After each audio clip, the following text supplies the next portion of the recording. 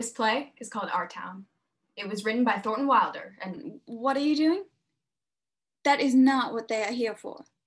oh, right. Why, we are here to talk about all the hot topics of Grover's Corners. Ooh, I'll start. Rebecca Gibbs, I told you to act properly for this town meeting. Sorry, Mama. Well, if we want to get started, then why don't we begin with Mr. Webb? What has been going on within our town? Any news? Well, I have just heard news that HTC is putting on a performance of Our Town.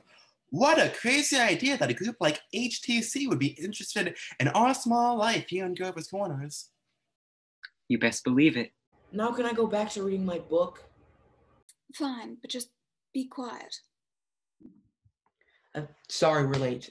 I I was just coming from baseball practice. I heard the news too, and I am so excited to put on this show. Wow, this is amazing. I always knew people wanted to hear about me. I, I mean, Grover's Corner. Yes, well, uh, looking at the clock, it seems as though we are running short on time, and we do need to get ready for our show this weekend. I hope to see you all there.